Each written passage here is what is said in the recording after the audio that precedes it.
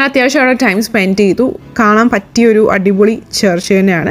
എനിക്ക് അവിടെ ഏറ്റവും ഇഷ്ടപ്പെട്ട ഒരു സാധനം ഞാൻ ഏത് കാത്തീഡ്രലിൽ പോയാലും തപ്പുന്നത് ദാ ആ കാണിക്കുന്ന സംഭവം തന്നെയാണ്. വേറൊന്നുമല്ല പൈപ്പ് ഓർഗൻ എനിക്ക് പൈപ്പ് ഓർഗൻ ഭയങ്കര ഇഷ്ടമാണ്. ഞാൻ ന്യൂസിലാൻഡിലും പൈപ്പ് ഓർഗൻ കാണാൻ വേണ്ടി തന്നെ കാത്തീഡ്രൽസ് തപ്പി പോവായിരുന്നു.